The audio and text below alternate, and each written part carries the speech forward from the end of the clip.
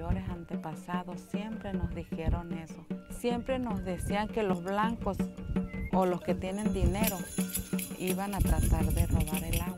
El progreso y la industrialización casi siempre viene acompañado de la malversación, destrucción o contaminación de los recursos naturales. El documental Mover un río retrata la lucha de las comunidades yaquis por recuperar su territorio, su derecho al agua y una vida digna. Esto luego de la construcción de dos presas que los han dejado en una situación precaria. No ver agua pues no ver vida. Más que entrevistas, es que yo quería ver el problema físicamente, ¿no?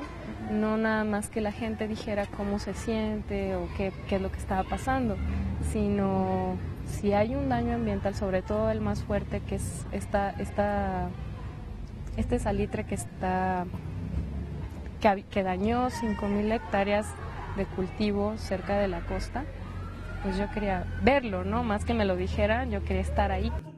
Este trabajo ya fue presentado en las comunidades yaquis, fue bien recibido y además es utilizado como prueba en la batalla legal que han emprendido contra el gobierno de Sonora.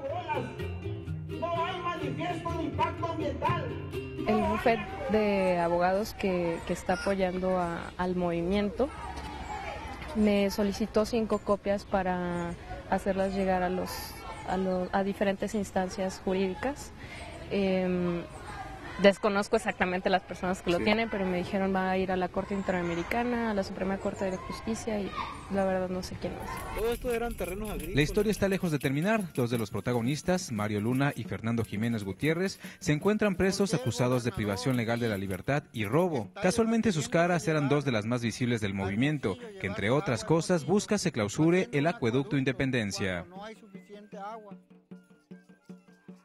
Porque ellos porque son intérpretes también, porque ellos hablan español, porque ellos también estudiaron otras carreras, además de, además de, además de ser yaquis, eh, Mario es economista y Fernando es agrónomo. Tienen mucha información técnica, entonces son las personas que estuvieron dando la cara ante los gobiernos, eh, ante, ante las diferentes instituciones públicas nacionales e internacionales. Este trabajo, que contó con el apoyo del Fondo Nacional para la Cultura y las Artes, se presentó en el Festival Internacional de Cine de Guanajuato, la muestra de video indígena en Chile y en el Festival Internacional de la Luz de Colombia, y ahora forma parte de la selección oficial de la novena edición del Festival de la Memoria.